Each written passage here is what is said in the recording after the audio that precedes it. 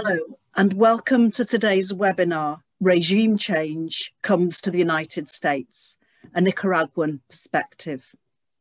Welcome to viewers on Zoom uh, and those of you who are watching on the Nicaraguan Solidarity, Solidarity Campaign Action Group Facebook page, where we are live streaming this event.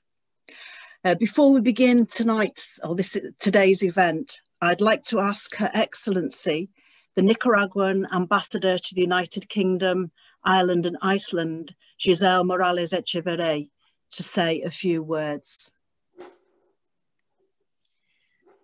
Thank you. Thank you very much, Julie.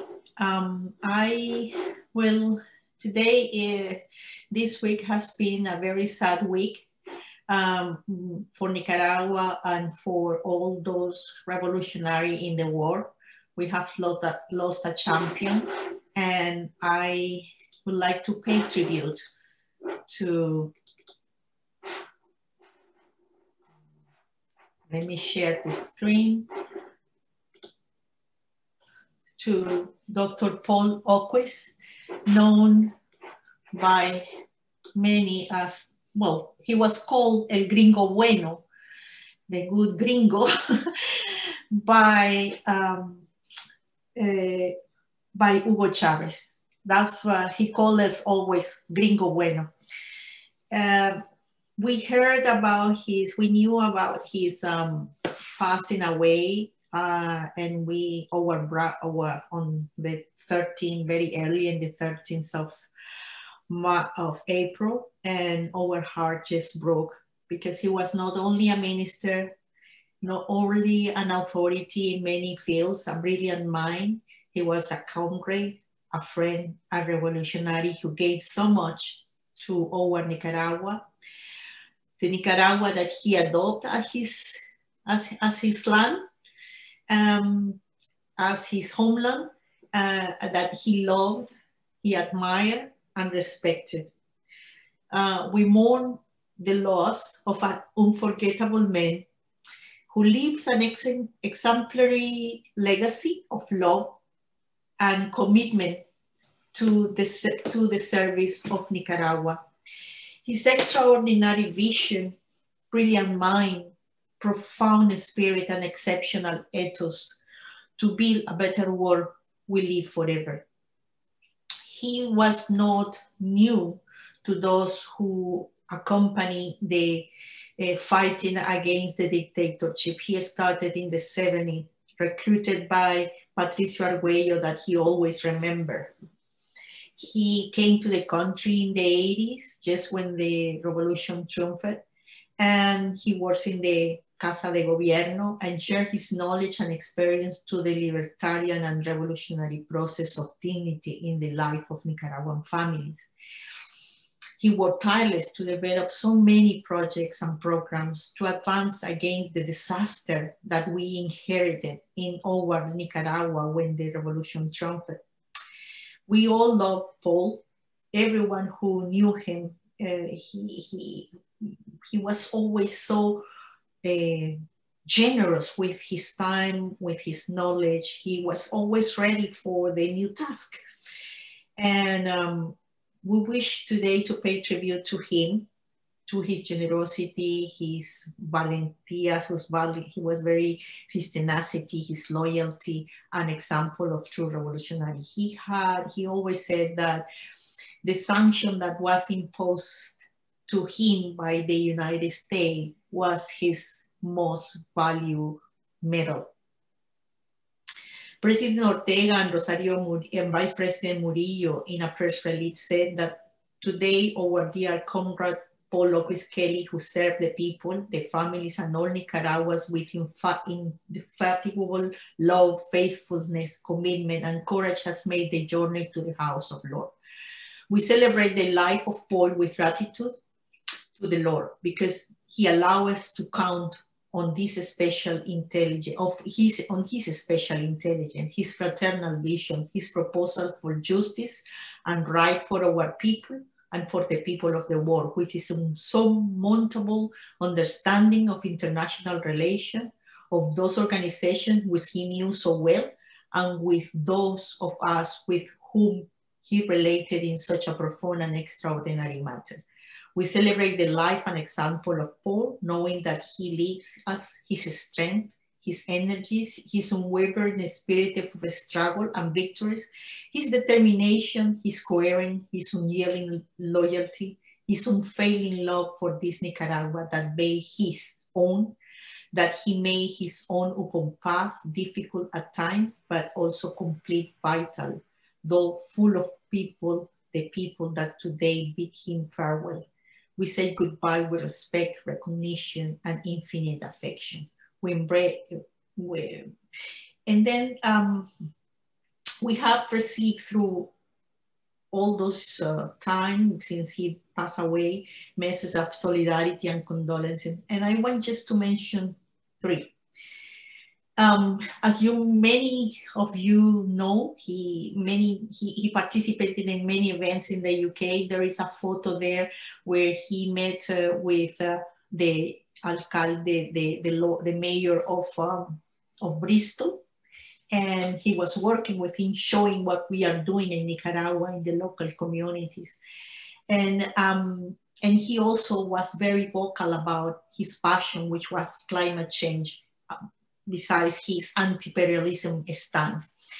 Uh, he was a great defend, defendant of the, the, the environment and he was admired for his position in the Paris Agreement and he was will be always remembered um, there.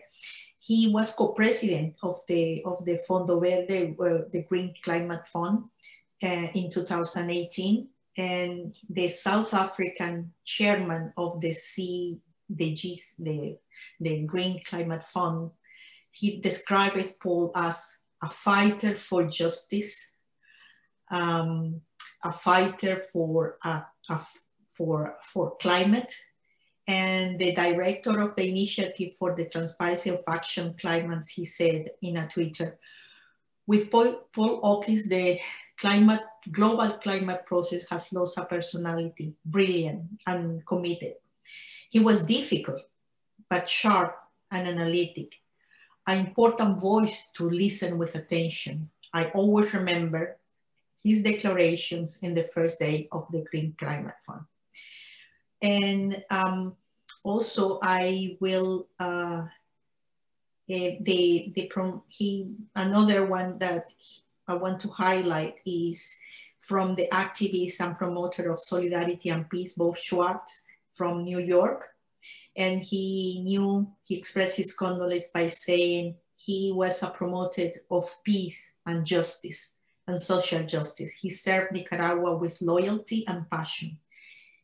We will miss him in the international scenario, where his presence will contribute to elaborate progressive initiatives for the climate change, the environment, and he always believed in a better world, that a better world is possible, and it is possible. And then um, the ambassador of Javier Arrue uh, from our uh, of Venezuela in Nicaragua, he said he was in he was in, in was in he, he never tired he was never tired he was always full of happiness and you know it was looking uh, so optimistic and he always was ready for the new battles and he was the one who defended Nicaragua and the people of Nicaragua. And our comandante, uh, eternal commander, um, he admired his love for Nicaragua the amor, the love for the Sandinista cause. And he was the one who called him the gringo bueno. And, and undoubtedly, the aggressions that was imposed upon him was the best testimony of his loyalty to the people of Nicaragua. So we also had a very beautiful and very complete um, uh, tribute from Nicaragua Solidarity Campaign today and that highlight his life. I recommend please, uh, if you can go to the NSC, please uh, read it.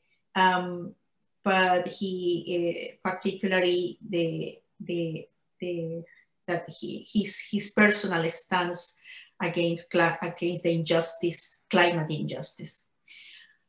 Paul has left uh, to, to, to eternity. Many people and in the story of Nicaragua has been not so many people in the history of Nicaragua has committed his life the way he did it with heroism and and, and knowing committed his life to service for those who need it. So compañero Paul, hasta siempre.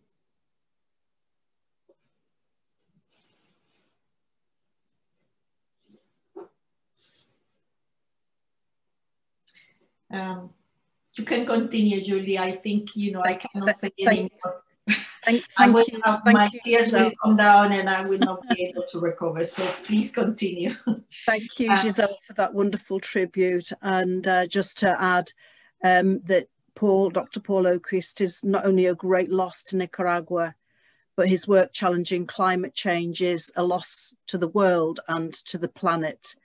May he rest in peace, but live on in power.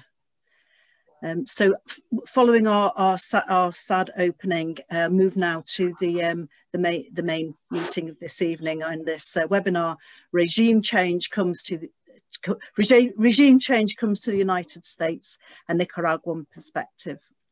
It's my pleasure and honour to be chairing this meeting this evening. My name is Julie Lamin. Um, I'm a member of the Nicaragua Solidarity Campaign Action Group Executive Committee. I've been a secondary English teacher in the UK for my adult life and more recently an author. I became involved in solidarity with Nicaragua immediately following the 1979 revolution uh, but I didn't actually get to visit Nicaragua until 1987, which uh, I participated in a reforestation brigade one summer. But that, as many of you all know, is, was during the Contra War. We learned firsthand of the atrocities uh, committed by the Contra against Nicaraguan people. Uh, we visited war-damaged hospitals and schools and se secondhand, in a way, experienced the hardships that the war had caused. And we also saw the dreadful legacy of the Somoza dictatorship, which had stripped Nicaragua of its natural resources, leaving the earth bare and the water poisoned. I returned to Nicaragua 30 years later in 2017 uh, to a very, very different Nicaragua, where the progress under the Sandinista leadership for the previous 10 years meant food was plentiful. Uh, as you know, Nicaragua is working towards food sovereignty and self-sufficiency. The roads that when we'd first gone were, were barely roads uh, were excellent, better than some of the roads in the UK. There were clinics and hospitals in every neighbourhood. Schools, colleges and universities were thriving. Uh, I went in 2017 um, as a teacher with 10 other uh, UK teachers. We'd been asked, um, our, our, our, my union, our, our union, the National Education Union, had been asked to assist Nicaraguan teachers in developing a curriculum and pedagogy for teaching English as a second language, a stress second language, because this wasn't just about uh, helping young Nicaraguans to be world citizens through speaking English, but it was this far-thinking nature of, of the government, uh, because as many of you will know, um, uh, the people who live on the Atlantic coast, many of them speak English as their first language. So this was a, a, a participation of, of uniting the country uh, to make it you know, full, you know, full participation of every Nicaraguan, regardless of whether their language is English or, or Spanish, and, and to us illustrated this very forward-thinking nature of the and participatory nature of the Nicaraguan government. Um, as a fan of Bob Marley, the, there's my favourite phrase is, we got to know our history. And I believe it's vital to see Nicaragua's progress since 2007 to date in the contest in the context of its history under the United States imposed dictatorship, uh, the legacy of which we saw so clearly in, in 1987. And my 2017 visit inspired me to write a, a novel called Beyond the Volcano. It's a work of fiction, but I hopefully show that that novel uh, shows the commitment and absolute human right people have to determine the future of their own country free from repression and injustice. Uh, you can buy the book, quick plug, uh, through the NSC shop. It's £10, but all of that £10 goes to Nicaragua Solidarity uh, Funds. Uh, and there's a link in the chat.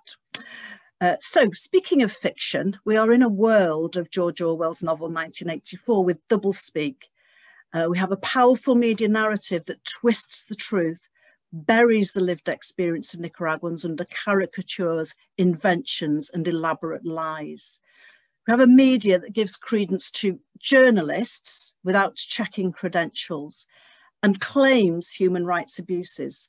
And those claims lead governments to impose sanctions on, on Nicaragua and, and other uh, countries, which cause multiple abuses of human rights on a daily basis for every single citizen. So tonight, in our webinar, Regime Change Comes to the United States, Nicaraguan perspective, we are very fortunate to have excellent speakers. Um, Nils McCune, Dan Kovalik, Coleen Littlejohn, and Her Excellency Guisell Morales Echaverry. And our speakers will highlight the parallels between what occurred during the failed attempted coup in Nicaragua in 2018 and what happened earlier this year in the United States in January and they will show how the reactions to both events were markedly different and how in the wake of the 2018 coup in Nicaragua, the government, the Nicaraguan government, has restored democracy to protect its people. And it continues on the road to economic and social recovery as it approaches elections in November. So uh, there's a Q&A uh, button at the bottom of the screen. Please, during the course of uh, the speeches, if you would like to ask any questions, please uh, pop your questions in there and we will address them in the session at the end after the speakers uh, have, uh, have presented. So it gives me great pleasure to introduce Nils McCune. I'm delighted, Neil, Nils, to have you with us this evening. Um, Nils is a research associate at the University of Vermont and visiting researcher at El Colegio de la Frontera Sur, ECOSUR in Mexico. Nils lives in Nicaragua and was in Nicaragua during the whole of the coup attempt in 2018, so has direct personal experience of events at the time. So many thanks, Nils, for being here and uh, over, over to you now for your presentation. Thank you. Thank you so much, Julie, and, and it's really been an honor to, to be invited to this, to be here with uh, Her Excellency, and also to hear that moving tribute to Paul Oquist. Um, I'm going to share a very simple presentation, which gives an idea of uh, what we lived through here in Nicaragua. I know that with this great panel, uh, people will be able to provide a little bit more theory, uh, but I'd just like to try to share the story. So where does this story begin?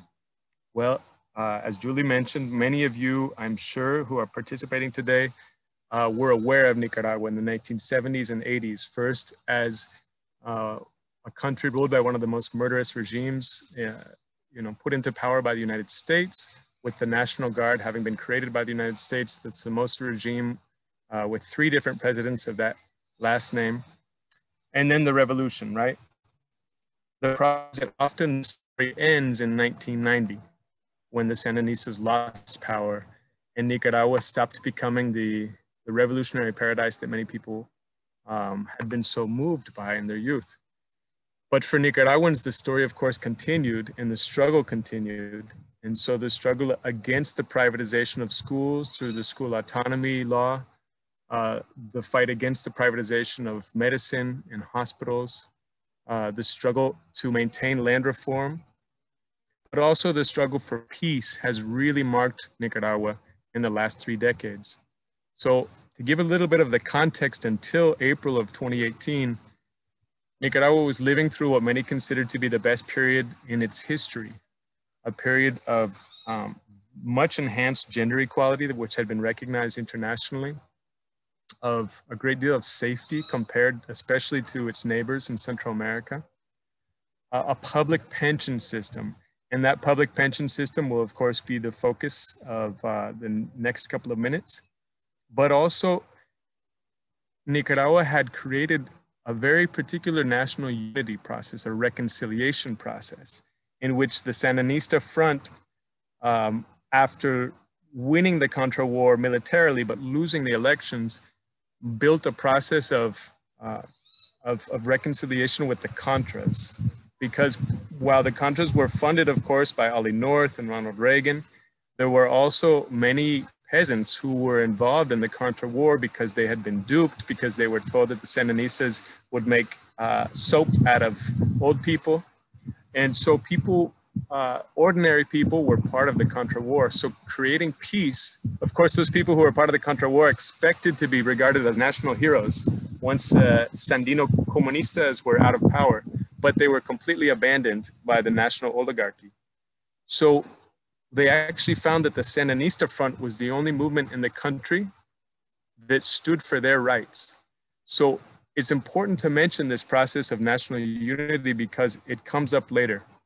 What's key to know here is that there was a process until April of 2018 in which many, many people were working with one common vision.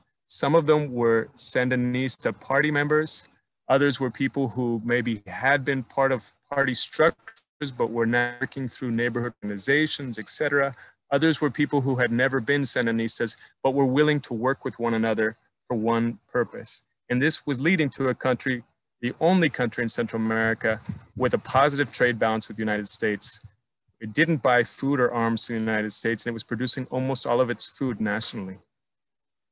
So what happened just leading up in the months leading up to the 2018 regime change attempt? First off, the medical coverage system, the, the INSS, which is the National Institute of Social Security, had been expanded greatly to include people who are part of the popular sector of the economy, those who don't have formal employment, which makes up 65% of Nicaragua's workforce. This required certain reforms to INSS, and the government was negotiating with labor unions and the private sector to deliver the kinds of reforms that would make a sustainable healthcare system. At that point, the International Monetary Fund made a visit to Nicaragua and official recommendations that included raising the retirement age and doubling the eligibility requirements, how many weeks someone would have to work to be able to have health insurance. The government rejected that neoliberal proposal and instead proposed a plan that provided more health care to more people to expand coverage through greater taxes on the private sector. So at that point, the private sector walked out on negotiations and the government with labor unions came to an agreement and passed a law. And the private sector called for street protests on April 16th, 2018. So here began something really extraordinary. And for those of you who are interested in learning about uh, these sorts of color revolutions that we've seen in Eastern Europe and we now see in other places in Africa, and they're starting to appear all over the world, the Nicaraguan case is really a fascinating study to understand what happens and how Nicaraguans reacted. So over three days, approximately 100 million anti-government messages were sent across Nicaragua, mostly through Facebook. The themes of these messages were rapidly changing, too fast for uh, the Sandinista Front, which of course is the, the largest leftist movement in Central America and uh, the most experienced leftist movement in Central America, to be able to react effectively. The first round of messages talked about Occupy Ints as acting as though what the government had signed into law was in fact a neoliberal reform, when of course it was the opposite. It was a reform uh, that would include raising the taxes on the corporate sector. Then as he began to react to the idea of people being pushed off of health insurance, there began to be stories of, uh, fake stories, of course, of attack by the Sandinistas against protesters. And by April 19th, the story was free speech. So there were uh, protesters, a very small number of protesters, but in most cities across the country, for free speech during the daytime. That same day, and I remember I was in Juigalpa, there was a massive rally in support of the INSS reforms that was carried out with the support of the Sandinista Front, its militants, its party members, and many labor unions across the country. So there was, on the day of April 19th, a massive rally in support for those uh, INSS reforms, but by then the topic had changed. The topic was now free speech democracy. And that evening, armed groups began making attacks on Sandinista Front headquarters throughout the country, as well as uh, public hospitals and INSS uh, public buildings. These messages um, work to, to, uh, to elicit responses from the First off, they had a very intelligent use of color, right? The national flag, but also the red and black of the Sandinistas. What's incredible about this, uh, this movement of the right wing, which appeared suddenly April of 2018, is that even used Sandinista songs, right? They say the, the uh, Carlos Fonseca wrote that the, the bourgeois has no systems of its own, so it has to use ours. They also used symbolism. They said that April 19th has replaced July 19th. July 19th, of course, is the anniversary of the Sandinista victory. So as you can see, I'll just go back for a second. If we look at all of these images, after you see who published this person, you publicidad, publicidad, publicidad in each of those circled areas. And on the next page too, publicidad. What these mean is that these are paid advertisements. All of these were paid for by uh, private companies or uh, made up organizations. We see Nicaragua Libre. All of these appeared on Facebook in this onslaught of paid advertisements. But what happens as soon as somebody shares one of these, then it no longer appears as an, a paid advertisement, but rather something that a friend of yours is sharing. So that's how these messages go viral. First, they're paid for, and at a certain point, they have a momentum of their own. But what's interesting is that they also used messages that were totally different for different sectors of society. On the right here, we have the, the beauty queen sort of uh, this model of message. The left, we have, which is suggesting that Daniel Ortega be lynched, as was uh, Muammar Gaddafi. Uh, then there was also these pretend political movements, right? Uh, uh, Sandinista Committee of Italy, uh, the the movement of the disappeared of the 20th of the 19th and 20th of April. All of these sprang up overnight, and as we can see again, these are paid publicity. So using images from other countries, uh, doctored images, images taken out of context from different years, uh, people learned that there were Cuban soldiers patrolling the streets or that the army had occupied Managua. And of course, these are patently false, but this is what people really thought was happening. Particularly effective with those who were not out on the street. So what's important to recognize here is also the youth of the middle and upper middle class really, really, really was taken in by these messages. So in terms of Nicaraguans, who was behind this? as we started to see uh, after a week or so and, and the, the, the side sort of became clear, uh, there was a, a, agglomeration of, of NGOs, more than opposition political parties. And this is important because opposition political parties really have no support in Nicaragua. I think the strongest support that any opposition party gets is around 12% of the vote. So they've been very discredited because they carried out all the neoliberal reforms during 17 years of neoliberalism. As a result, the NGO sector, sector that the United States Embassy has, has really focused on financing, and they're the ones who have been working on developing uh, these training programs with around 5,000 young people in the country, which took place over years on uh, developing the, the skills for advocacy, uh, civil engagement, democracy, political leadership. And all of these courses were financed by um, sort of a, a, network of NGOs, but behind them, the funding came from USAID, the National Endowment for Democracy, and the Catholic Church. And what's really chilling about this is these WhatsApp groups. So across Nicaragua, there's very popular WhatsApp groups as just about anywhere nowadays. And some of them are used for classifieds, like if you want to buy a motorcycle or you want to sell a chainsaw or, or whatever it is that people go to classified ads for, and others that are like to find out where the party is that night, right? What's the Friday scene like? These WhatsApp groups became 100% focused on uh, insurrection immediately uh, by April 18th. So they completely changed their purpose, and that also threw a lot of people off guard.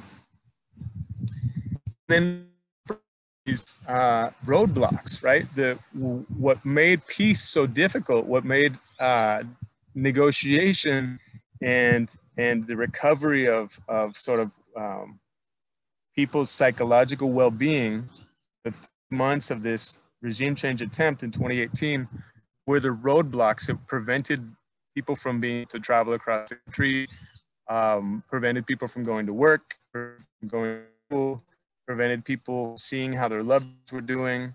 I personally was unable to leave the, the town that I was in for 80 days because there were armed roadblocks on both sides of town with um, AK-47s and M16s and other very heavy weaponry, which uh, we could hear at nighttime and which were terrifying, absolutely terrifying. And of course, um, persuaded us not to try to, to leave town. I remember uh, people, their, their Sandinista, uh, the, the Sandinista party has a carnet. It's like a, a party membership card. People hiding them in their sock drawers, everyone being very, very terrified of being identified as a Sandinista uh, sympathizer because there were lynchings being carried out across the country. Many, many Sandinistas had their homes burned. Um, others were beaten. Uh, in our town, there was a family where everyone in the family suffered several lost broken arms, broken rib. And so the Sandinistas were moving uh, people into safe houses across the country, moving food around, trying to make sure that people could could survive this, and also trying to take um, very uh, equitable positions, trying to seek dialogue and trying to to figure out what what was going on, right? Where where the hatred was coming from, because it's only with hindsight that we're able to see really how this was crafted. But anyway, uh, just to give an idea, NGOs were were very uh, much in the were, they were very much in the planning phase of all this. Opposition political parties clearly had a, a strong role, although they pretended not to be opposition parties. They pretended to be apolitical or uh, autoconvocados, as they call it, the, the self self-convoked people, self-convened people is the proper translation. But also um, there was a certain sort of a, a criminal edge to it. So even within neighborhoods, it was the the young guys who never participate in garbage cleanup, who never uh, help anyone to get water, who were letting themselves be hired as gunmen or, or um, uh, to intimidate others. So there was sort of this, this criminal side to it, which has to do with uh, social consciousness. And so in the end, there had faces. It had a, a pretty face that it presented to the media, uh, a pretty face that met with uh, US politicians. And it also had a very terrifying criminal sort of thug um, intimidation tactics, uh, including um, rape, including murder, including burning people's homes down. So what did we get out of all of this, right? We, we got justification for international sanctions. Uh, the most far right elements of the United States Congress pushing through the NICA Act, there's a campaign of hostility everywhere, particularly uh, aware of uh, how difficult it is to even speak in favor of uh, a dialogue or, or um, respect for the electoral process. There's a, a very strong pro-coup uh, attitude, even among those who consider themselves to be part of the left.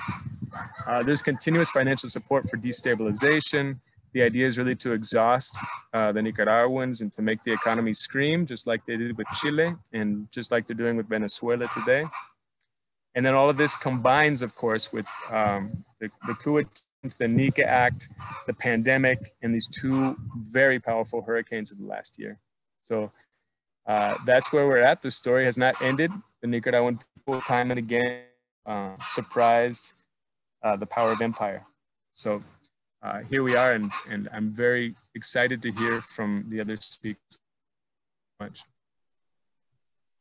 Excellent. Thank you so much, Neil, for uh, such um, an insightful report and, uh, you know, conveying to us not just the absolute terror of being there, but the, the depth of and breadth of manipulation.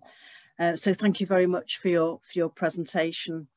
Um, it gives me great pleasure uh, to meet again. Um, Dan.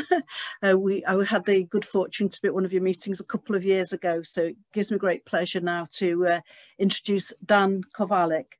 Uh, Dan is an American lawyer and human rights advocate who's followed Nicaragua's politics for the last four decades. He is Senior Research Fellow, COHA Council on Hemispheric Affairs, and lecturer on international human rights at the University of Pittsburgh School of Law. He has written a number of books, the latest of which is No More War.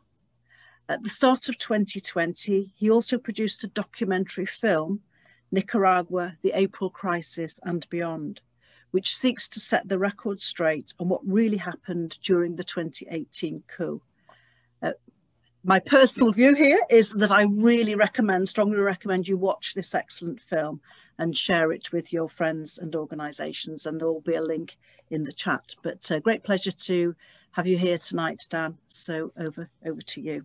Thank you, Julie, and thank you, uh, everyone, for being here. I see a lot of old friends, uh, and and uh, gives me a lot of a lot of hope and courage. Um, I'm happy to be talking about a country that changed my life. I mean, and it changed many people's lives.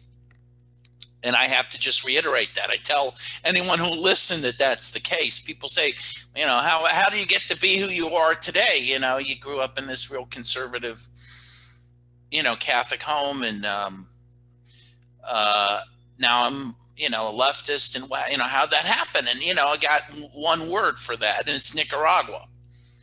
And now there's a lot of people out there who have the same story. You know, those of us who went to Nicaragua in the 80s and we saw the courage of the Nicaraguan people standing up to the greatest military power in the world, the United States, who was terrorizing Nicaragua. And that's what it was it was terrorizing. You know, the U.S. supported the Contras who never gained one blade of, of, of grass within Nicaragua, never held any territory. They had no popular support. But they did manage to terrorize the country, kill doctors, kill engineers, teachers, including an American engineer, Ben Linder. Um, and that was the, the tack they took. And to some extent, it was effective. The, the Contra War, combined with U.S. economic sanctions, uh, did play a huge role in the loss of the Sandinistas in the election of 1990. Essentially, the U.S. held a gun to Nicaragua's head and said, you know, if you vote for the San, Daniel Ortega and the Sandinistas, we will continue the Contra War, which by then, by the way, was illegal, right? Congress had had had made it illegal to fund, but Reagan, as we know, kept funding it through cocaine sales and sales of weapons to Iran. Um, but the U.S. said, "Hey, we're going to continue the uh, Contra War against you. We're going to keep killing." uh, innocent civilians in your country and destroying electric power plants and whatnot. Um, if you vote for Ortega, we're also going to continue sanctions against your country, which are making it hard for the Sandinistas to carry out the social programs that they, they were trying to carry out. Um, on the other hand, if you if you vote for the opposition, Violeta Chamorro, we will end the Contra War we will end sanctions, and guess what? We'll even give you some money. We'll give you some uh, humanitarian aid. And the result was uh, the defeat of Daniel Ortega. And I remember that time. I mean, and, and all of us felt it, not, not just in Nicaragua, but outside Nicaragua, we felt a great sorrow. And even at least as I understood it, a lot of people in Nicaragua felt terrible because in, in many people cast a vote against Ortega more as a protest vote because they figured he was going to win. And then the next day, when it was clear Chamorro had won, you know, uh, there was a silence that kind of broke all over the country, you know.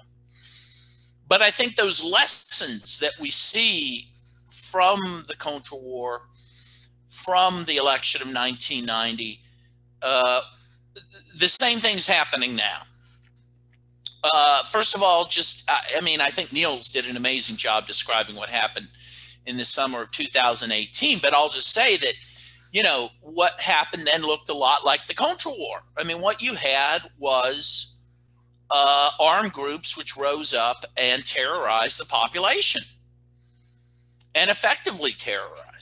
Um, as Neil said, uh, you know, uh, it was open season on Sandinistas. I remember, so I, I went to Nicaragua in July of uh, 2018 as the crisis was beginning to ebb.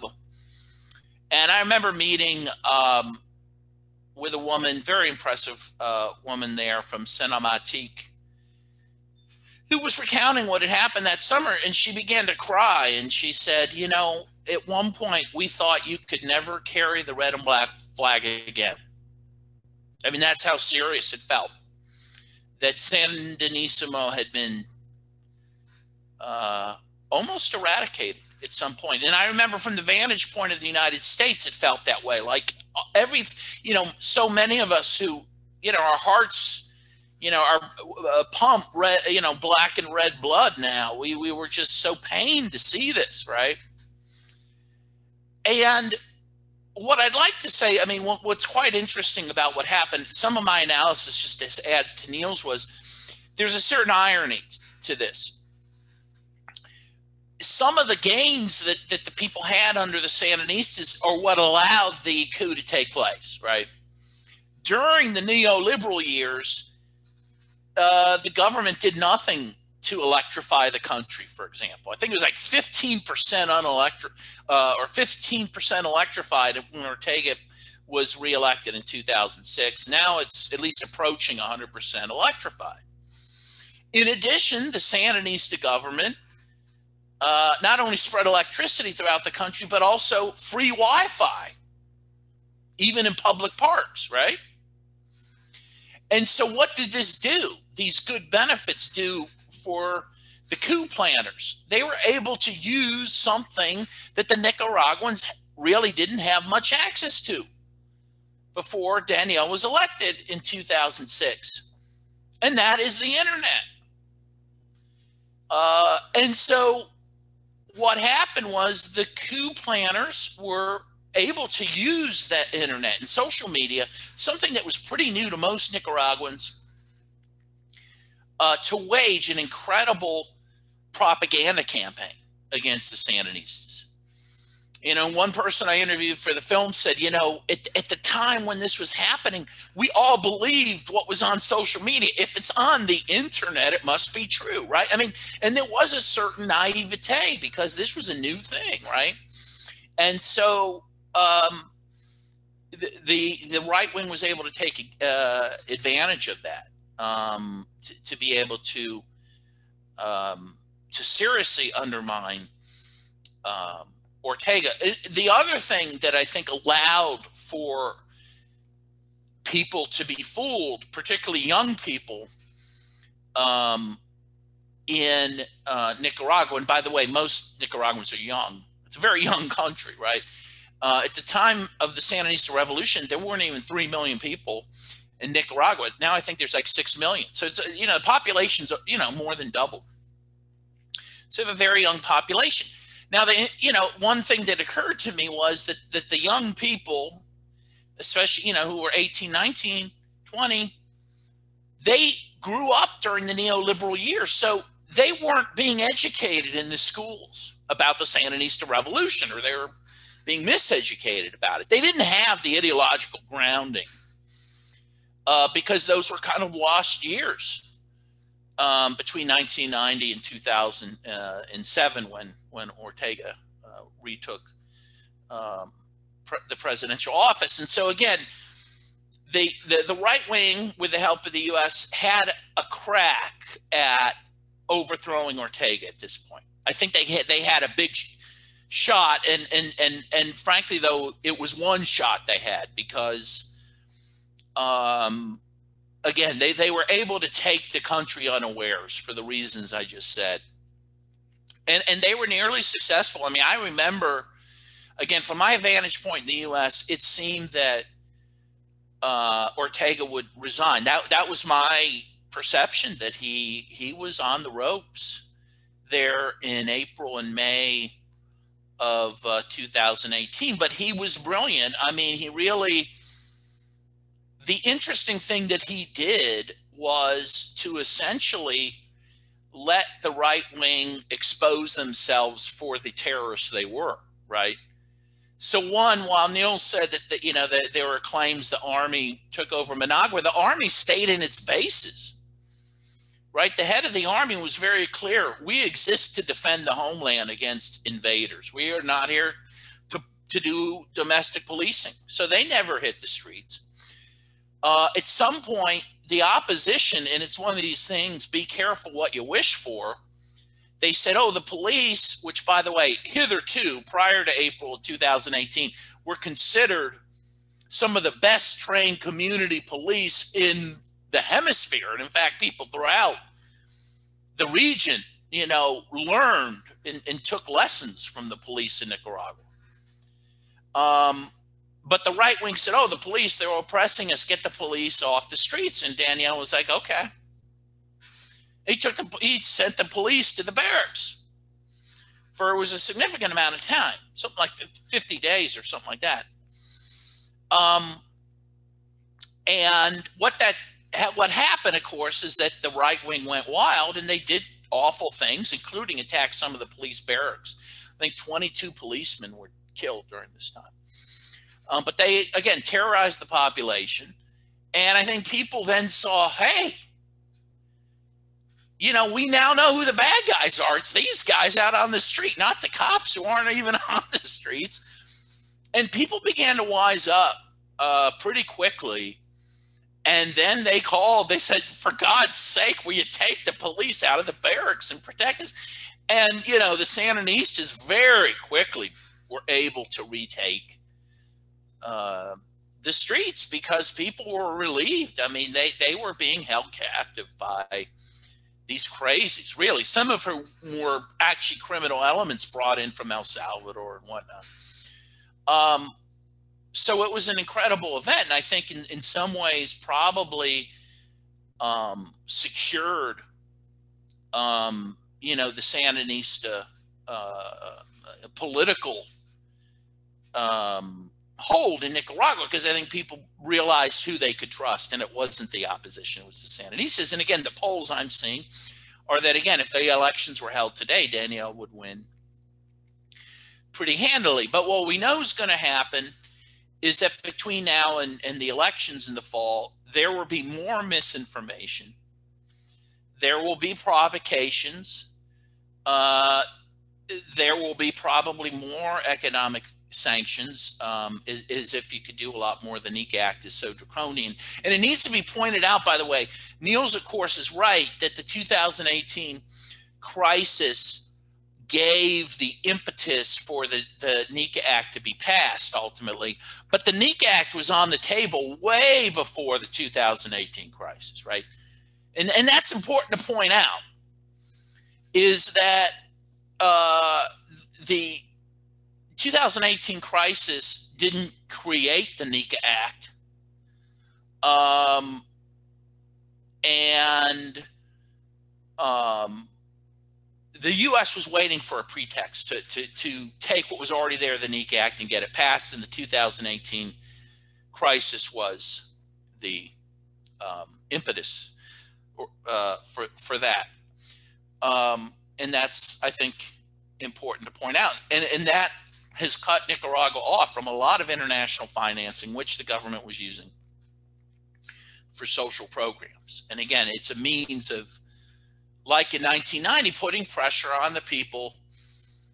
Um, the clear, the clear uh, message that the U.S. is sending is, if you vote for Ortega, uh, you know we're just going to keep sanctioning you, and if you vote against him, we're going to stop the sanctions and give you money. So it's really a form of, of, very unfair pressure on the political system and, and but that's going to continue. The one thing i want to say is that while i think the nicaraguan people understood by the you know the end of the summer of 2018 what really happened and that the sandinistas in fact were their protectors and not their oppressors a lot of the rest of the world hasn't figured that out I think that's fair to say. Um, even a lot of people on the left in the West don't get it.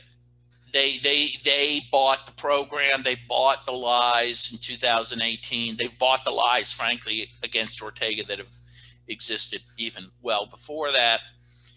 And uh, by and large, uh, that um, propaganda has been effective um, in countries outside Nicaragua. And I think that's our job to try to overcome that um, because people have been fooled. I mean, it's just interesting. The other day I was interviewed, and it, was off. It wasn't about Nicaragua per se, but the person who was interviewing me was a leftist, and she said to me, she said, "You know, I, I, I went to like you. I went to Nicaragua in the '80s. That those were the Sandinista years." And I'm thinking, yeah, well, they were, but so were these years. but she didn't even know that, right? People have forgotten what they learned in the 80s, which is too bad. Um, so uh, I think Just that's three why, minutes, uh, Dan. Okay. Three, three more minutes. Thank you. That's why we're having this seminar is to, you know, re-educate people about the realities of Nicaragua. And again, one of the huge ironies I mean, the tactic of the U.S. throughout the world, not just in Nicaragua or Central America, throughout the world, we see over and over again in Iraq, Libya, Afghanistan, Syria, Venezuela. The goal is to sow chaos. Let's be clear. When the U.S. says we're going to intervene to stabilize a country, you should interpret that to mean we're going to intervene to destabilize a country. Now, sometimes they even use those words, destabilize. And that's what the US helped do in 2018 to destabilize the country. And they're going to continue to try to destabilize it. And what the irony of ironies is, you know, when you listen to reports in the US about the migrant, so called migrant crisis in America, you will often be told without much explanation that the immigrants are coming from Honduras, El Salvador, and Guatemala. Nicaragua's not on that list. And why is that? Because the Sandinistas have created a relatively prosperous and stable, peaceful country. And but if the US gets its way, it will destabilize Nicaragua. And now we'll have migrants coming from Nicaragua, even though we made it clear we don't want any migrants. You know, this is insanity. This this type of foreign policy is insane and but we have to recognize that is the goal. The U.S. is is sowing chaos throughout the world, and and it's only countries like Nicaragua that are resisting that that that are going to prevent that, and that's why we really need uh, to stand by the Nicaraguan people. Thank you. Thank, thank you so much, Dan, for your impassioned support of, of Nicaragua and uh, it's always a pleasure to, to hear you speak. So, so, so thank you very much for, for that uh, impassioned uh, and detailed presentation. Um, it now gives me pleasure to introduce Coleen Littlejohn. And Coleen is a development economist with an MA from the Johns Hopkins School of Advanced International Studies in the United States. She has worked for a wide range of organisations such as the Catholic Relief Services, the International Reconstruction Fund, Nicaragua Network, CAPRI, a local development NGO that uh, Coleen founded herself in 1988.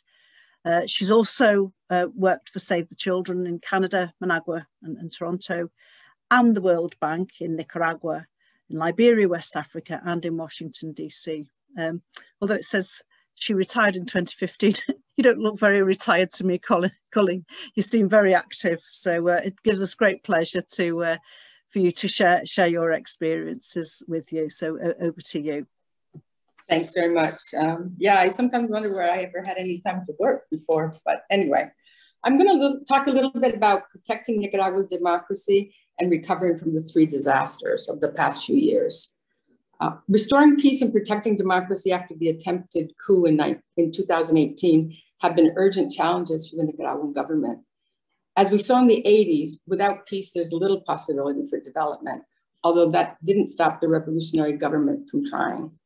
Uh, I'll never forget a phone call. I was at a, my sister-in-law's house and she got a phone call from Puerto Cabezas, which is now called Bilwi. They had just connected the Pacific to the Caribbean coast by phone. And two weeks later, was, it was bombed down by the Contra. So, so much for development. But anyway, um, back to April 2018, in the months following the initial protests, there were parts of Managua that looked like war zones, scenes that we never saw in the 80s in the capital. The country was on lockdown for months, but not by COVID, but by the violence of the opposition. And by in, by in July, obstacles were removed, but still tension persisted for a few months. And increased police presence was very welcomed by most of the population. To protect democracy, several laws were passed last year whose content is basically the same as similar laws in other countries. But in Nicaragua, they have been severely criticized in opposition media and human rights NGOs. One was to prohibit foreign donations for political campaigns and to obligate organizations to register what they receive and what those donations are supposed to finance. The other law basically insists in what the US demands in federal US Code 2383, which states, whoever incites, sets on foot, assists, or engages in any rebellion or insurrection against the authority of the United States or the laws thereof or gives comfort thereto shall be fined under this title and imprisoned not more than 10 years or both, and shall be incapable of holding any office under the United States.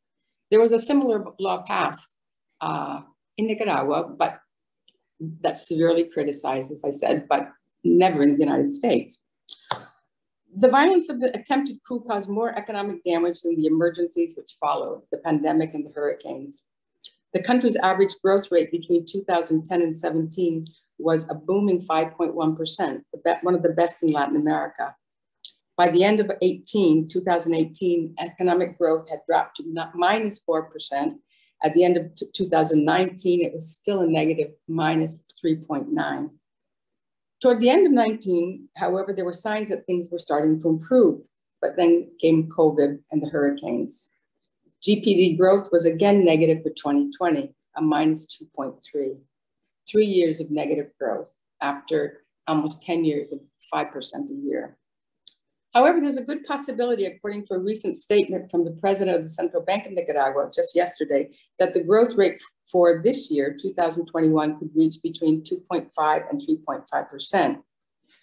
Nicaragua was, was the only country in Latin America, for example, that increased its exports this year but it will take several more years to return to the levels of 5%. Um, but let's look now about how the government faced the two more natural disasters. The COVID pan pandemic was announced in March of 2020, but the Nicaraguan government began to prepare an interim plan to deal with the virus in January, preparing for the worst scenario. The Ministry of Health prepared 19 hospitals nationwide to treat COVID, and the Army made their emergency plans to establish huge tent hospitals if necessary. House to house census was taken by community volunteers to identify the high risk population. Regular vaccination campaigns against the flu and pneumonia were carried out early. And Nicaragua never closed its borders, but they did put in place testing requirements for those traveling to the country and quarantine for those, for those entering. I was the first, I was one of the first people to enter, even actually before the first case in Nicaragua. I was coming from Europe. And uh, I was called by MINSA every day for 15 days, right at the beginning.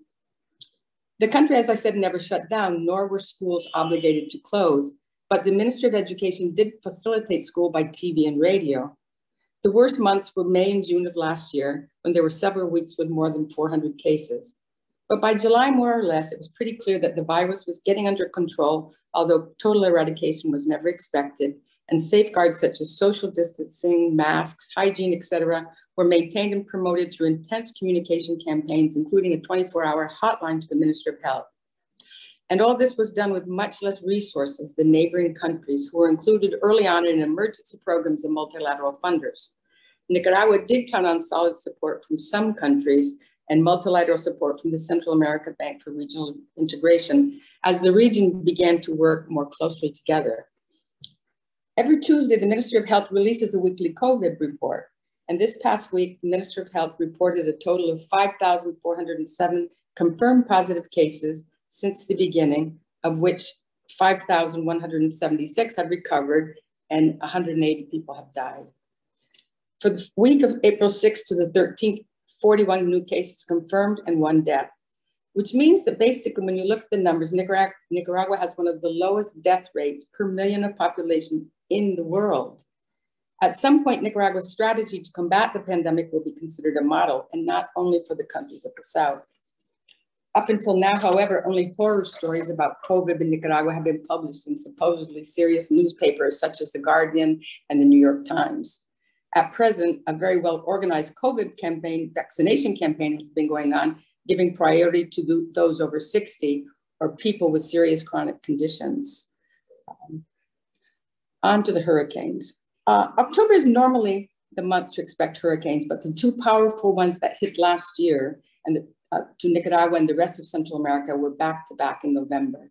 Hurricane Eta, category four, and Iota, category five. Days before the hurricanes hit, over 165,000 people were evacuated from danger zones into shelters supplied with food, bedding, and medical attention. Initial rebuilding supplies and first responders were also mobilized to the area to quickly restore services after the winds and the flooding subsided. Because of the advanced preparation, very few lives were lost, and those were, and those were people who decided not to evacuate or who returned to what was left of their homes, knowing a second hurricane was coming. Within three weeks after the hurricanes, the government assessed damages and losses, negotiated financial support, and advanced on the elaboration and implementation of a recovery plan. The damage was devastating. Over 6,000 homes destroyed, another 38,000 damaged, along with 92 schools, 112 health centers, 11 bridges, over 4,000 kilometers of roads. Fourth, the Minister of Finance estimated that economic damages from the two hurricanes was over $742 million, equivalent to 6.2% of Nicaragua's gross domestic project, product. But Nicaragua received a check for $30.6 million right away, thanks to the incredible competence of the government and its leaders, including our dearly departed friend, Paul Oquist. Anticipating a worse than normal hurricane session, Nicaragua increased its tropical cyclone insurance coverage from the Caribbean Catastrophic Risk Insurance Facility. And as a result, the country received the much needed payout under the excess rainfall and tropical cyclone policies. Talk about planning.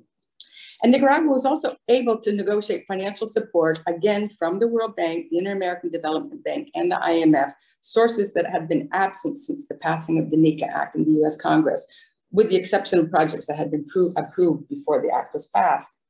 The Central American Bank for Economic Integration continues to support reconstruction and recovery projects at higher levels than usual. Now I'd like to talk about what was the key to the successful responding to the economic crash following the attempted coup and, and the pandemic, the pandemic and the hurricanes. The analysis is interesting, especially when seeing how other Central American countries have not fared nearly so well, despite having access to much more financial assistance almost immediately. The key for me is the success of the government in their development programming since the FSLN was re-elected and assumed power in January of 2007. If another party had won the 2006 elections, I doubt that the, the country would be looking at a possible 3% growth rate for 2021.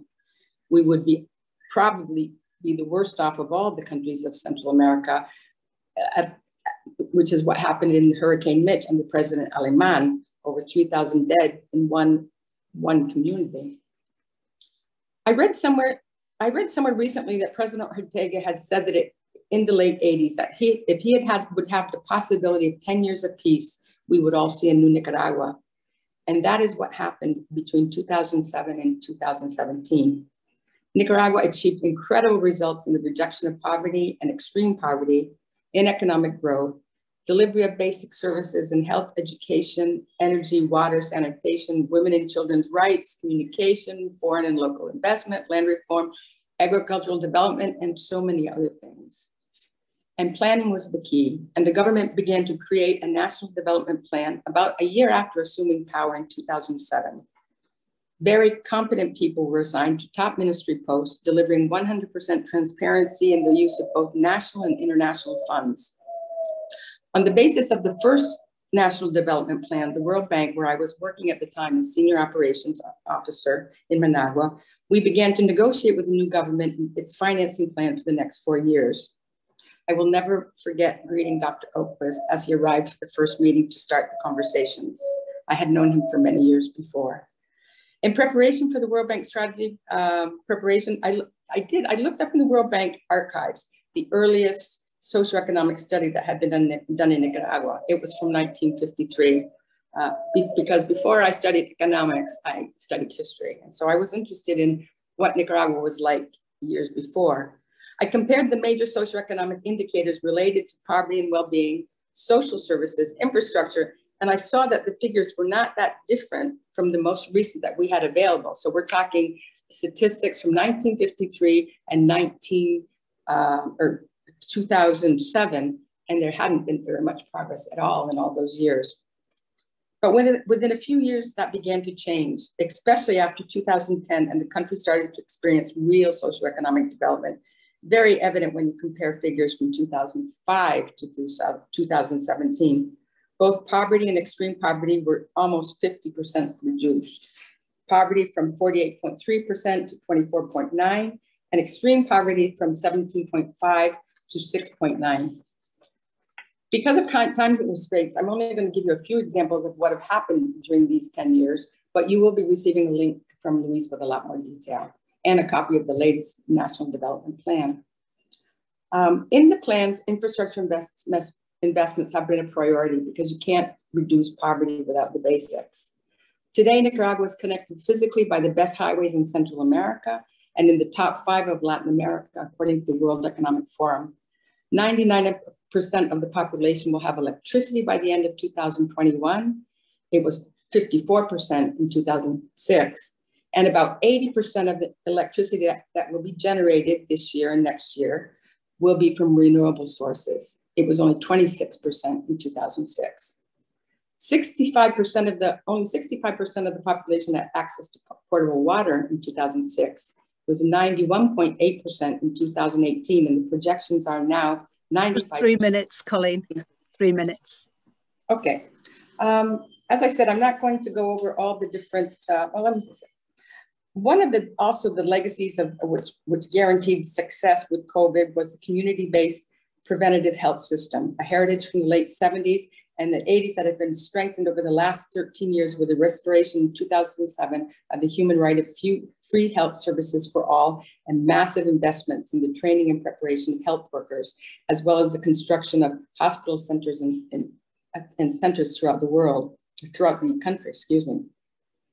Uh, the country's health budget has risen 319% since 2006. With respect to food security, since 2007, the government has already has also made significant investments in grassroots agriculture production and urban credit, microcredit, prioritizing women. Um, with respect to citizen security, Nicaragua has developed a world-class civil, civil defense disaster prevention and mitigation program, which we saw working over the hurricanes. And over the last 10 years, the government has invested significant resources for the economic, social, technical, and physical integration of the Caribbean coast. Those investments greatly facilitated the emergency response of the last hurricane season. Getting emergency supplies, supplies in eight hours by road instead of three or four days makes a big difference. So what has been the key to responding to the economic crash post-coup attempts, post-hurricane, and right now, the COVID? Basically, the government has intensified all of the above programs, more health, more education, more public works, more employment generation activities for small and medium producers, all defined in the just released National Development Plan 2126. And that's all of the above is why you don't see thousands of Nicaraguans marching towards Mexico and the United States with their neighbors from Honduras, Guatemala, and El Salvador. A recent opinion poll indicated that the number of Nicaraguans disposed to immigrate has fallen by half since 2005, 2006. And by December of 2020, over 80,000 Nicaraguans had returned from home from other countries in Central America. More than 10,000 came from Panama, where Nicaraguans living there were faced with massive unemployment, no health care, and 5,000 new cases of COVID a day in the country as a whole. Now some final words. If there was one word to describe Nicaragua, its people and its revolution, it's resilience. Resilience in the face of constant threats, especially in an election year where a constant of US foreign policy has been to try to guarantee the defeat of the FSLN. We saw this in 1984 and in 1989, as Dan said, when a gun was held to the heads of Nicaraguans. Vote for the vote against the FSLN and would guarantee you six more years of war and destruction. The FSLN accepted the defeat and became the opposition. And in every election since 2006, the US has financed the opposition, but never to the extent that has been seen since the FSLN won in 2006, with most money spent by the US in 2017, clearly preparing for the, for the elections coming this year. and clearly, clearly preparing also for the attempted coup of April of 2008 and, and the elections that will be held in November this year. Thanks very much. Many thanks, Coleen. That's uh, just given us such a great insight into the meticulous planning that brings about the great results that we see at every, every level in, in Nicaraguan society. And I think, uh, as, as many have rightly said, that uh, sort of comparison with how, how little the impact of the hurricanes and COVID has been on the Nicaraguan population compared to many, many countries in, in the region. So thank you very much for that very detailed and on-hand uh, uh, um, impression of what's been happening. Th thank you, that's really good. Right, so uh, last but not least, um, Her Excellency Guisell Morales Echaverry, uh, as I said before, the Nicaraguan ambassador to the UK, Ireland and Iceland, uh, would like to just give, give pass over to you, Guisell, for some summary comments. Thank you, thank you, Julie. Well, we, we have heard in very our previous speakers, Dan, Nils, and Julie, uh, and Coleen, have explained, you know, the situation in Nicaragua from 2018, the, the coup the effects, how we come, how the people got together to defeat that coup, and uh, also how the U.S. has been and has been financing this, uh, this regime change agenda. And, but that is not only Nicaragua that has been, you have seen it recently in Cuba, you have, recent, you have seen it in Venezuela. So it, it is a pattern to every country that stand up and defend their sovereignty and the right to be uh, independent and to be, to have their own, uh, not to uh, submit to the will of other countries, but to the will to, the, to their own people. So Coleen also has give us a very uh, complete picture of why we, um, why the revolution is still there, why the social transformation is still there. And it is because um, a social transformation, a revolution required both political power that the government, Sandinista government has, but also the participation of the people. Without political, political power, revolutionary pro, pro programs will not have the material resources they require. And without the participation of the people, revolutionary programs, even with resources, cannot be put in practice, neither defended. So right now, Nicaragua after that coup attempt, although the, the, the, the, the, difficult economic situation that put us, even with a, um, after that in 2018, in 2019, in 2002, we were recovering, you mentioned, colleague, and in 2020, we had these hurricanes in nine, and, and we have COVID the whole, the whole year.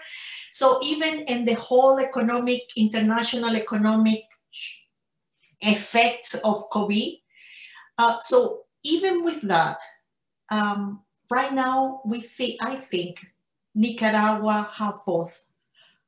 And we are making great progress in building a new society. Uh, and we call it, in Latin America, call it the buen vivir. That's what we are developing. We we want our people to have a good life. And that is what we are building. So Nicaragua is demonstrating, you have heard um, the meaning of a tra transforming a, soci a society that is putting people before profits. And that's what we are doing. And this is precisely beside the historical confrontation and history of dominations in Nicaragua since, since our very res be, be, became a, recently became a, a, a nation in 1856. Uh, this is one of the reasons why the United States is targeting Nicaragua through hybrid warfare, including the misinformation campaign that Dan and Nils explained very, very well. Uh, the application of the SHARP uh, manual and then many other manuals uh, of, of terrorists that create terrorism in, in the country. So, uh, and the direct interference in the politics of the country. They finance, that's clear. This is very clear, the financing of the 2018 Cuaten and the economic attacks and sanctions that you have heard of. 2020 was a difficult, said, um, but measures were taken. The, the, the, the, way we confront the hurricane, uh, uh, the, two hurricanes and the COVID was success, has been successful because of the will of the government to put people first, but also the support of the people, the participation of the people. Without that, it wouldn't be possible, not with our resources visiting and educating 5 million uh, visits to create awareness and education and track and trace the COVID would not be possible with our resources. It was the support and the participation of the people. Um, people are, we believe people is the protagonist of this revolution. So they have their will and the power in their hands.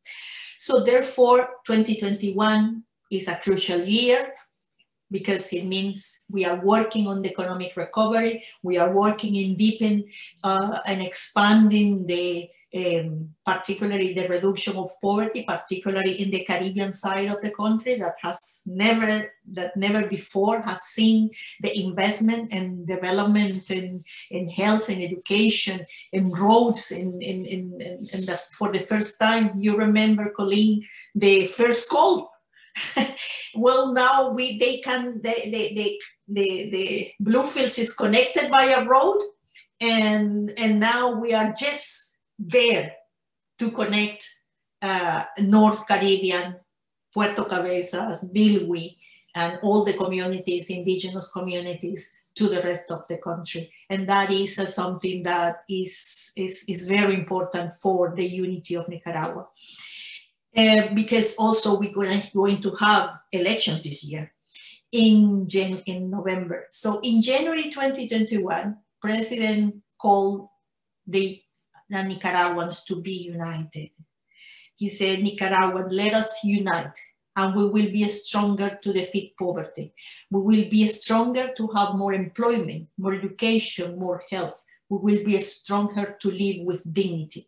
So that is, um, that is the call. We can, we can be a government, but without the people, we are, there is no possibility to advance. So the latest survey, uh, and I am looking at it just right now on, of March 2021, is showing. Your Excellency, just one minute. Oh, okay. okay. so um, uh, I'll go back all of these. I just wanted to mention uh, in August 2020 they, they, that um, we believe that there will not be, uh, that the sanctions will not be reversed, even with this new um, unfortunately, with this new um, regime in the US, we believe that the NICA Act will continue there. It has been was supported by, by, by President Biden when he was a member of, of the uh, of the Congress of the Senate. So in it in, in also to, in 2020 there was the responsive action in Nicaragua, this program GRAIN, uh, near uh, the, the, the closest is the elections, there are new uh, ways of destroying the, this project, this revolutionary project. And that uh, is another uh, intention to, to, to stop the revolution. In November um, 2020, before Trump left, the, the, he extended for one more year the executive order with respect to Nicaragua, stating that the country, our small country, the second poorest country in the in the Latin American, economically speaking, in the Latin America and in the Americas, is an unusual and extraordinary threat to the national security and foreign policy of the United States. And that is insane, of course. And so that makes no sense. So later this year, sorry, but I have to say it, later this year, um, we uh, uh, in we have now the Renacer, the Nicaragua adherence to condition for electoral reform. It's a law that has been put it uh, to, to in the United States by um, by the what's the what his name is Bob Menendez to the Senate. Uh, he's chairman of the Senate Foreign Relations Committee. And he and they are, as Dan said, putting a gun again to the Nicaraguans. You do, you vote against the Sandinistas, oh, and then you will, sanctions will continue the same way they did it in the 90s. So, um, so the, in March 16, just a few days ago, the head of the Southern Command of the US Army, Craig Faller, accused that Managua maintains close ties with Moscow. He also assured in an appearance to the Senate that Cuba, Venezuela, and Nicaragua are a direct threat to the United States. They are a daunting challenge that we cannot face on our own, he said. The only way to counter this threat is to strengthen our partners in the region. Consequently, we expect that in the first place, the emphasis of the US strategy is not towards summarizing, Your Excellency. yes, just to finish, I'm not going to repeat anything. I just wanted to ensure you that um, 2021 should be a year of recovery and we will recover. The Nicaragua economy has have been the less damaged in Central America because of the strategy, economic strategy we had against COVID. We defeat the failed attempted coup, we have recovered that. And, and we, um, we must also work, everyone, I think, all solidarity should protect our revolutions, our societies, our progressive governments of Latin America that are targeted by US foreign policy for daring to, to, uh, uh to hold high the ban the, the banner for self-determination and sovereignty. Um, we ask you, as well as to all progressive for forces around the world, to redouble the solidarity efforts to ensure that Nicaragua, Cuba, and Venezuela, and all progressive governments in Latin America survives, and without external interference, to preserve our sovereignty, our determination, and the right to determine our future. Nicaragua will continue its revolution as long as we have you as a friend, as long as Nicaragua have sons and daughters that love her, Nicaragua will be free. And the Sandinista revolution will not stop. Thank you so much, Guisell. Breaks my heart to cut you off and uh, with all the important things that you need to bring us. And uh, obviously you convey just why that revolution is so important in, in the way you, you speak about the country you love and, and, the, and the love that Nicaragua brings to Nicaraguans and, and to the world. So, so thank you so much. Uh, just running a little, little bit late and we obviously want to have some time for questions.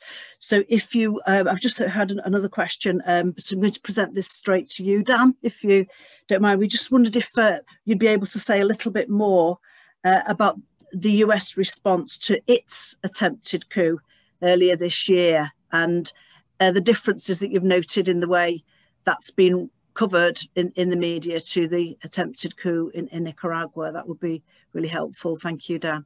Yeah, well, uh, again, there, there are certainly similarities um, of what happened. As we know, on January 6th of this year, there were uh, a number of, of right wing protesters, some armed uh, with guns and, and other weapons, who essentially invaded the Capitol building of the United States, some with the intent to, look like, to, to take hostage some of the Congress people, uh, maybe even kill some, including Vice President uh, Mike Pence, who's also was president of the Senate.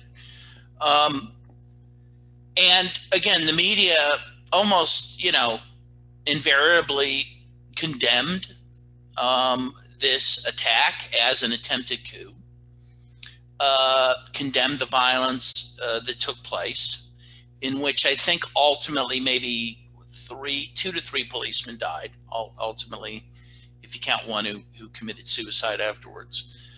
Um, but again, uh, this looked a lot uh, like what happened in 2018 when people also, again, violently attacked um, government and party buildings, uh, attacked police officers, including killing, as I said, at least 22 of them, sometimes after torturing them.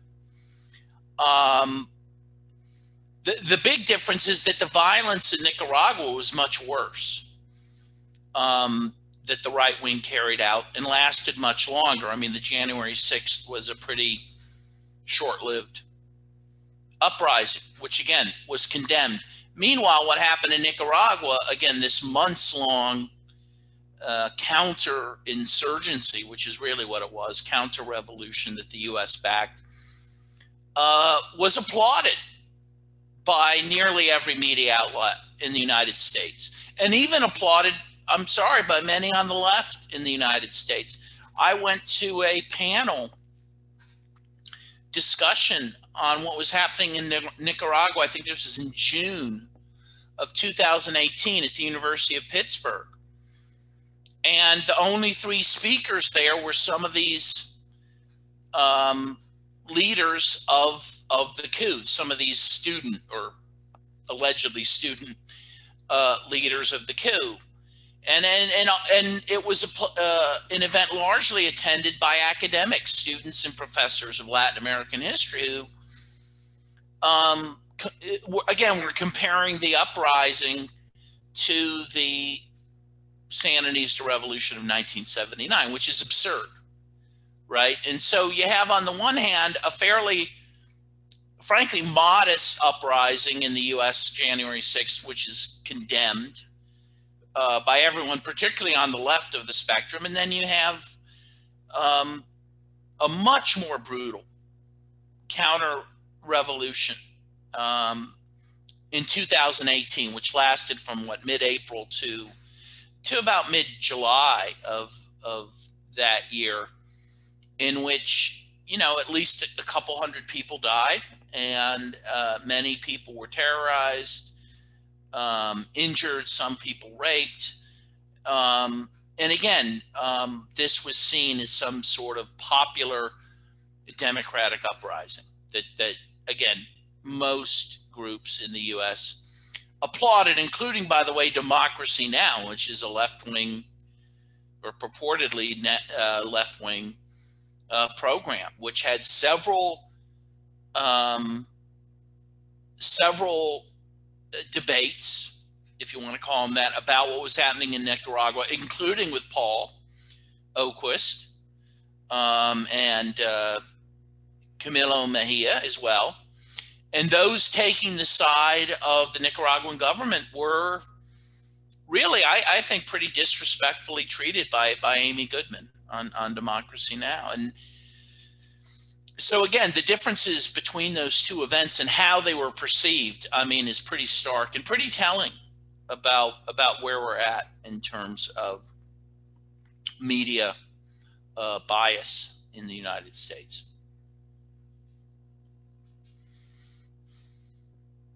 Thank you, thank you very, very much, uh, Dan. That, that's that's really helpful. Um, I think this might be something arising from your contribution, Nils. Um, uh, just to clarify a little bit further, uh, you, you, mentioned about um, the people fomenting the violence in 2018, and I think one of your slides mentioned about the NGOs and human rights groups. Could you just add a little bit more, Nils, of to explain that that detail? Um, I think just to give a little bit more detail, if you if you're there. Is Nils there?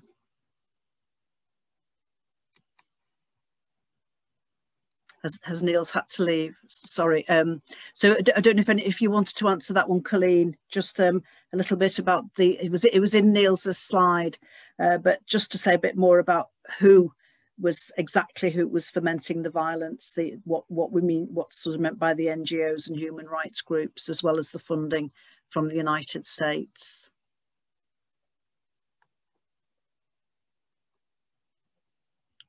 Could you take your mute button off, Kelly?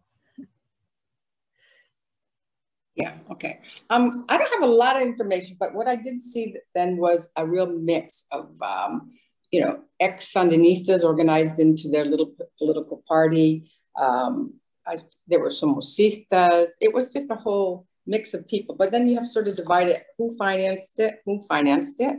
Uh, that was the United States for a long time who did it and who organized it and who, who was paid to do it. So it, it was just a whole mix. I'm not really like, I, I don't have names, etc. but um, um, there were people sort of running the show and people being paid to, uh, to do it, you know. Uh, and then, uh, you know, at the very, very beginning, and people in the streets confused. But then when they realized they were confused, they went home, you know. But um, uh, but some didn't. So, but there was, as Nils was saying, the, the whole, uh, what do you call it, Facebook and social media thing was organized years and years in advance. In fact, the weird thing the other day was I got I got in my memories of Facebook, uh, a Facebook memory of seven years ago or five years ago, and it had the, the picture of you know that that kid that was saying to President Ortega, "You have to, you know, when are you leaving?" You know, he started um, a Facebook page or something like that or a group. And then April 2018, he changes the name of it. So I just go, this is very weird. But I don't, you know, I'm not a real specialist on all these things, but um, but it was a, a minority and and the money did uh, the money talked as far as the actual perpetrating some of the violence. Thank you very much. Uh, we've just got a couple more questions. We say we're run, running. We've already run ahead um, of time. So um, just just very briefly, the question from Helen about Nicaraguans returning from Costa Rica uh, during the during the COVID. I just wondered if either you, uh, Dan or or Coleen, want to pick that one up. Coleen. Um, yeah, the, the, Costa Rican border just opened on April 5th, so it was very difficult for people to come in or or um, out. Um, I think there was coordination between the governments as far as some people coming back. Um, there was a lot of people coming back illegally, and, and so there were Costa Rican authorities and, Nicar- and, and Nicaraguan authorities taking, you know, um, custodian, you know, taking care of the border area more than anything to make sure that these people, as they came home, were getting, you know, tested for COVID or if they had any symptoms or if they went into quarantine. Um, so um, I'm not sure about the numbers. I know the numbers in Panama because I was just in Panama a couple of weeks ago. So, but uh, I didn't look at Costa Rica, et cetera. But uh, the, the back and forth with Costa Rica will be, has been open now, but the legal going and coming was closed for almost a year. A year. So the people who did come were um, illegal, and I'm not sure about the numbers. Thanks very much, Coleen. And um, can't remember if I mentioned this before, but I just wanted to re remind everybody about the forthcoming webinar this this forthcoming Sunday, the 18th of April at seven o'clock, organised by our friends, the Alliance for Global Justice. It's called Media Disinformation on Nicaragua, a tool in US conventional warfare. So if uh, the, people have asked uh, these questions, if uh, you wanted to get a more detailed uh, exploration of, of that, then there's there's the uh, place to go on this forthcoming Sunday. I think um, the uh, there'll be a, there'll be the details in in, in the chat there, um, and um, just I think there's a question there. I think perhaps if you can very quickly answer it, I know that's a bit unfair to say very quickly because it's a detailed question. Um, there is current in the um, there is a current in the US Congress who have been demanding the suspension of sanctions. So I just wondered if uh, you, you, knew anything, you could tell us anything about that. Yeah, uh, yes, as you say, um, you know, when Biden uh, took office, he promised to at least uh, take another look at sanctions and reconsider uh, sanctions policy against various countries. And there is a, a move amongst a, a, fairly small group of U.S. senators uh, pushing Biden to to rethink the sanctions policy of the U.S. and to lift sanctions uh, against varying co- uh, countries on the on, on the basis that these sanctions, particularly during the pandemic, are literally killing people. You know, um, the numbers in Venezuela, for example, are astronomical. In one year alone, between 2017 and 2018 the um, CEPR, the uh, uh, what is it, the uh, um, Center for Economic Policy Research did a study showing that 40,000 Venezuelans died in one year due to the sanctions. 40,000. You know, so these are very deadly sanctions. And again, there is a move to get Biden to reconsider them. I think that, you know, I think it's a long shot that he would do that particularly when it comes to Nicaragua and Venezuela and Cuba. But I think it's worth supporting that effort. I mean, there is at least an emerging effort uh, to question U.S. the U.S. sanctions regime, which I think is sanctioning something like 35 different countries.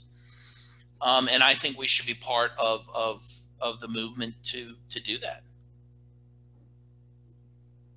Oh, thank you, thank you very much, Dan. I uh, heard um, Venezuelan speaking recently uh, to say that you know we use this word sanctions, but sanctions are applied to people who've done something wrong, and Nicaragua, Cuba, and Venezuela have only done something right for the benefit of their of their population. So I think um, one of the things that we we can do in solidarity is to, as we've tried to do a little bit tonight, is un, unpick that uh, unpick that language. Um, so, so to unpick that language of sanctions, nothing, nothing wrong has been, and this, the deadly nature that they are deadly, uh, and um, and and do kill people, as you've just illustrated in in great numbers. Um, so thank you, thank you very much for answering the questions tonight. There was only other one question. I think it was just to clarify, Guisell, that sadly Paul um, was a victim of of COVID. Somebody's asked that. Is can you just confirm that, that uh, was? well, I, I have no confirmation. No, there is no official confirmation, neither the family or the office that I that I know about. Uh, people is speaking about it, saying it is, but I cannot truly have the fact that it is. So uh, forgive me if I cannot be uh, completely, but I'm being honest. I don't um, I, I, can have my view, although I think the importance of Paul Oquist is not how he died, it's how he lived. And the much, much he gave, not only to Nicaragua, but he gave to the, to the uh, social progression, pro progression in, in, in Latin America, and also his stance, very, very strong stance on climate change and anti-imperialism. Thank you. And I think that's a, a, really important note to end, isn't it? It's not how someone dies, it's how how they live and really a message for us that we we stand with our, our, our brothers and sisters in Nicaragua in our lives and and we we take we take our opportunity to uh, to stand to stand with you. Um, as those of you who've been to Nicaragua, you can hear from our speakers tonight how passionately people feel. I, I, love Dan's expression of the the red and black blood running in your veins. um, so you know, people who who know Nicaragua, who visited, feel very passionately about about the right of Nicaraguans. Uh, to, to defend their country, to live in peace, that buen vivir, that good living, what what a wonderful aspiration and isn't that the basis of all human life that we are simply allowed to live our lives fully and well um, and you know without that external aggression interference Um, we've also looked to Nicaragua, as we've heard tonight, for these very relevant models of, of how to build a better world. It isn't just a, an empty phrase. This better world is being built there with, with the good roads, the communication, the health, the economy, the quality of food, the supply of food and food sovereignty. So it's it's a great model uh, and how to defeat the, you know, to, to respond to the, the awfulness of, of climate disaster as in the two hurricanes and also how to how to to build and, and demand a change, climate change as, uh, as we, we've heard uh, Paul, Dr. Paul Oquist did so, so very well. So we need to stand in solidarity. We need to tell Nicaragua's truth, share what you've learned tonight, uh, watch Dan's film, read the books uh, that he's written and, um, and all the other things that we've seen there, attend the webinars. And when it's safe to do to go to Nicaragua, see for yourself, eat that delicious food, share the joy of Nicaraguans.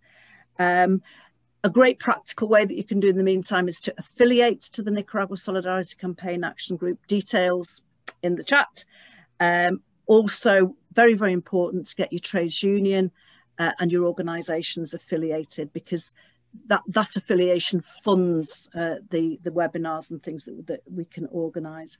Act where possible against US aggression and sanctions, show them up for what they are in terms of killers um, and do, do everything as individually and collectively and defend wherever possible Nicaragua's national sovereignty and right to determine its own future. And that's going to be particularly important over the next few months. So heartfelt thanks to our wonderful speakers. Uh, Nils uh, was in a lovely position of expecting the arrival of his second child, so he's had to hurry away. So we, we wish him well.